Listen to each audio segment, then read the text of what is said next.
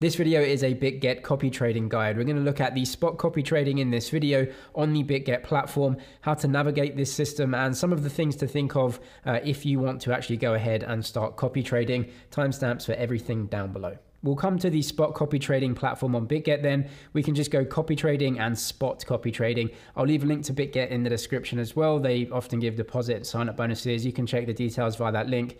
Uh, I also have a beginner's guide to the platform on getting set up, so I'll link that below. Now, what's the difference with copy trading where futures or spot is to be chosen.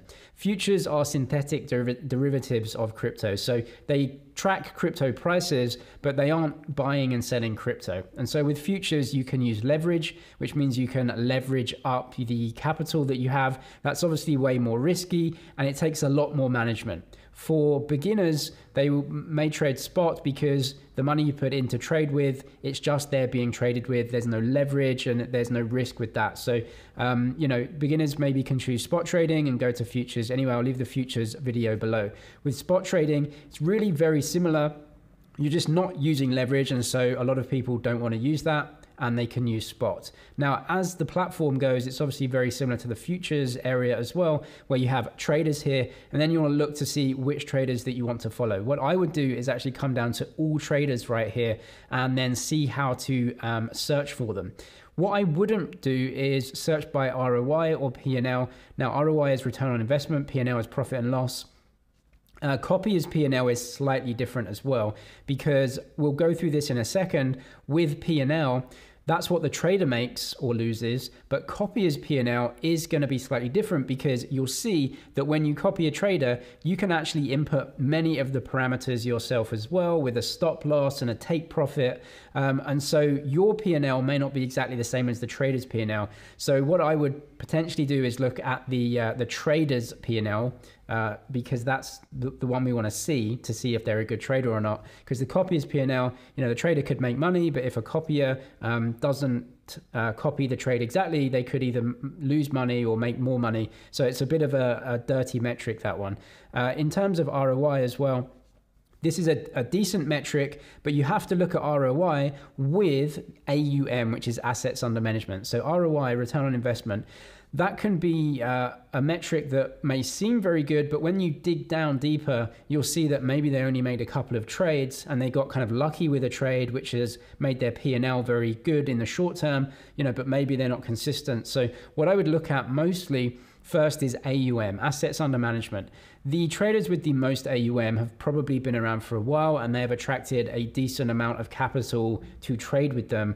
And so with AUM, what you may see is the larger account gets, the less percentage returns or ROI that they actually get. You know, you, you're probably trading um, higher. Uh, cryptos, right? So larger cryptos that obviously are going to move less. If you go down to very small AUM or traders that are trading very small altcoins, you may find, find some really high return on investments there, but maybe they got lucky with one coin. Maybe they don't have many people copying them. Uh, and so it's easier for them to get in and out.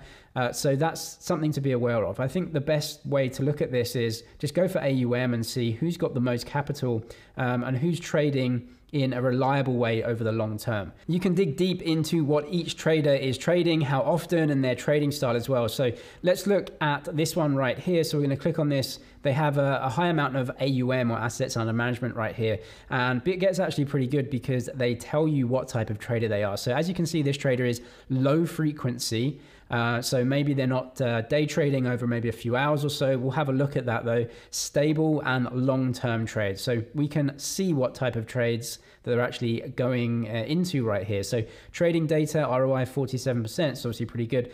We'll look at all in three weeks. So you can see what are they doing over the short term and what have they done since uh, account inception. Now, with copy trade pairs as well, we can actually see the cryptos that they're trading. So we can click into here and see they're trading a bunch of different cryptos. So we'll see what that strategy is. Now, trading orders 29, accumulated followers 838. There are only 500 uh, people allowed to follow and copy this trader at one time. Um, but as you can see, there's been some turnover here and the total amount of accumulated followers 838 win rate 100% well that's obviously pretty good and aum a decent amount here so as we go down to the charts what i would do, want to do is just go to the longest period of time possible because over a day or so, you can't really see what the traders, you know, real win rate is. They've obviously started here and you know made a bunch of very good trades. Order type, as you can see, now we can see what they're trading. So uh, it looks to be like they're trading a bunch of Bitcoin and then uh, Atom and Aptos, Mina Protocol, Polkadot. You can see here. So some some very good trades. Obviously, they've had a hundred percent win rate, uh, and then the copy trades as well.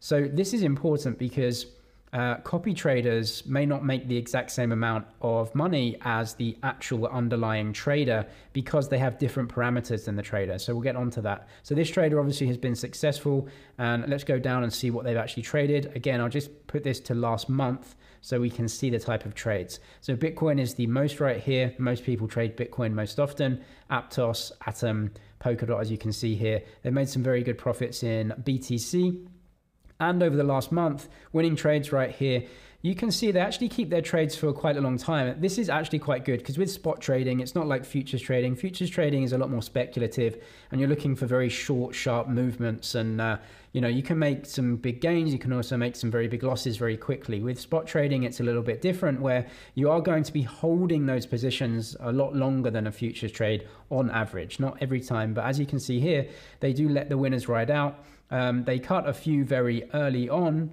No real reason for that you can't see, but most of the time they're holding their positions for you know about a week to maybe a couple of weeks. Um, so they're definitely not a day trader. And as you can see at the top here, it says low frequency and stable. So that's definitely what this trader is, right? They're they're you know picking a, a swing trade basically into the market and so that's something that you may want to get exposure to or not and as you can see the trading volume they haven't really traded uh, over the last few days they definitely went in very high volume here, which is when we had a big upswing in the crypto market. So they timed that very well. So you can see exactly what type of trader this is. And that's important as well when you choose traders. Maybe you want a basket of traders, you don't just want one. You can actually get exposure to different types of trader and different types of strategy. We can go ahead and look at the copy trading screen then. There are a lot of settings here that you may want to familiarize yourself with. So the first thing is Obviously, we need a trader that has some free slots here. If there are no free slots, you'll have to wait for other traders to, you know, kind of uh, stop copying them and, and remove themselves for whatever reason. But this button here will either say copy now or alert me to when there are free slots. So if we choose this one as an example, this is the copy trading screen and it defaults to basic. There is an advanced mode, uh, which I'll go over in a second. Uh, so first thing we can do is, is uh, choose copy trading pairs. So if we press edit here, what you can do is just toggle off any assets that you really don't want to touch at all. Even if that trader uh, trades them, you won't copy their trades if you toggle them off. So, you know, as an example here, Lunacy, you know, it's a speculative coin and, you know, maybe you just don't want to touch it at all. Or some other ones, you know, some very small altcoins, maybe just don't want anything to do with them. You can just toggle them off completely. Now that's why um, the P&L of copiers is often completely different to the P&L of traders themselves because the copiers are saying, I don't want to trade this and I want to trade with more or less. And so as you can see, the P&L for copiers and traders can be, can be completely different here. Um, so when you're copying a trader, I suggest, uh, or, you know, I think maybe just uh, open yourselves up to the trader. They know what they're doing. Uh, and so you can open yourself up to it because if you're cutting your losses, early or you're trading assets that they aren't trading, can have a very different performance to them anyway.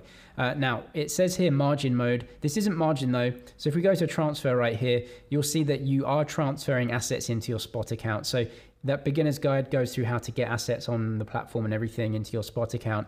Um, so I've got some assets in my spot account already. It says margin mode, um, slightly misleading. You are just trading in the spot market here, so no leverage or anything. But you can uh, choose a fixed amount or a multiplier. That means of the trader's uh, amount of trades, right? So you can say, I just want to trade $50 a trade and that's it. So each trade, $50 comes out spot account, goes into that trade. That may be very different to the amount that that trader is trading. And again, there may, there may be some trades that uh, they're more confident in that they actually put way more um, you know uh, weight behind in terms of what they're trading. So that again can change your P&L uh, dramatically. The percent will be the same, obviously, but what they're actually making nominal basis may be different. Um, but anyway, you can choose a fixed amount multiply here again from 0.1 to 20 so if they're trading $1000 you can say i want to trade 1000 2000 3x or whatever it is right so you can trade that this again um, is okay to use, but again, you don't know how much nominal they're actually trading with. So, you know, if you have a thousand dollar account or whatever, um, you may actually just max out with one trade compared to what the size they're trading with. So, you know, that's a decision for you to make. Maybe fixed amount is a little bit better. Now, in terms of risk management, as you can see here, um, we can just see this drop down stop loss, take profit, and maximum follow amount. So we can edit this. What is a stop loss? A stop loss is an order that essentially gets you out of a trade that you're losing in. So let's say you're losing 10% um, and you're comfortable to lose 15%, then that's fine. But what you can do is say, 15% is my stop loss. Now, if you're losing 10%, the trade is going to keep copying that trader. As soon as it gets to 15%, you will actually trade out because that's your stop loss. And so you'll actually take a 15% loss on that trade. The trader may hold the trade down to 20% as a loss, and then the trade may reverse and actually start making a profit or maybe a smaller loss. So again, if you're setting a stop loss that is different to the traders, you can have a different performance than them but you can choose that as a fail safe to say i really don't want to lose x percent you know that's when i really want to get out uh, now in terms of a take profit as well that's on the opposite side if you're in a 10% profit and you say hey i want to take a 15% profit all the time i'm happy with that then that's great but if the trade is really confident and the crypto market can move 30%, you've cut your profits early. And again, your performance will be different than the traders. In terms of a take profit here, um, I have seen these before. I, have done these before on copy trading with a stop loss.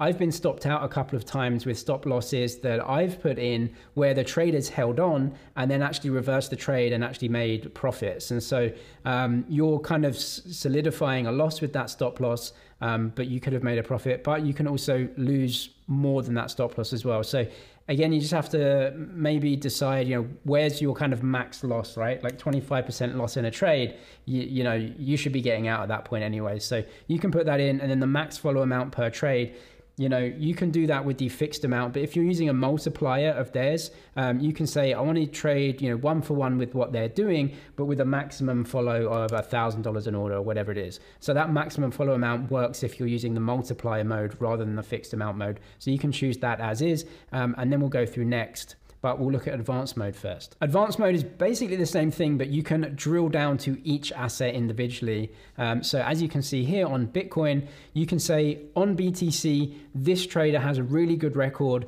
And so I want to trade a multiplier of theirs, which is, you know, 1.5 times on BTC. Uh, and then the edits right here, you know, we'll take a stop loss of 25%, take profit. We're not going to take that. We'll, we'll go, go up to the trader.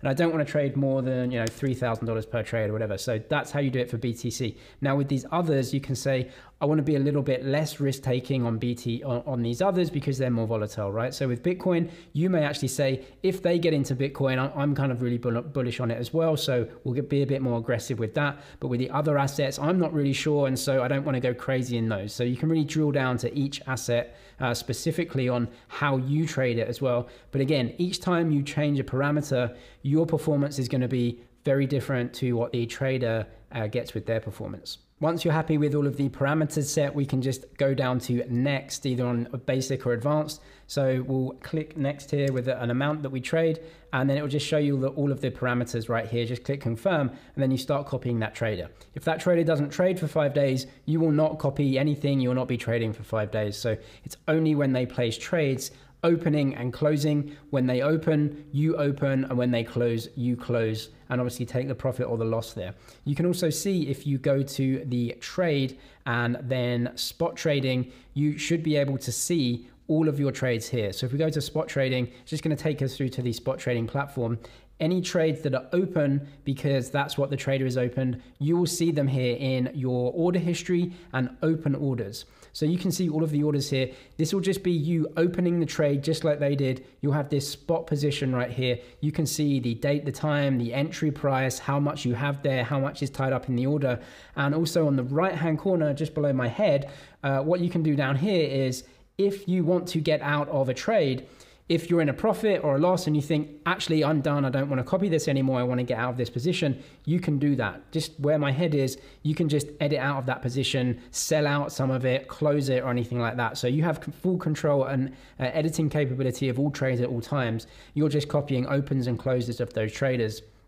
You can also go, if you see the copy trading, we'll just go over to the main menu here. Uh, you can go over to this arrow and you can see all of your details. So if you go down to trade history and positions, they'll all be here for you to see. No current positions for me but you can see all of the details here and there's an action tab on the right hand side if you want to get out of a trade if you want to edit uh, take profits in a trade make a trade smaller that's where you can do it all what I would personally put into copy trading is assets from my trading account. So investment account taking up 90, 95% plus of assets. That's siphoned off and that's just not trading. That's just buy and hold and DCA. Uh, but for spot trading, I would consider this the trading portion of my portfolio. So a very small percentage of the overall, maybe a few percent here that you're using to day trade. And you're looking at some traders just as a few percentage points of the portfolio just to give yourself some, you know, potential potential um, performance that you may not otherwise get.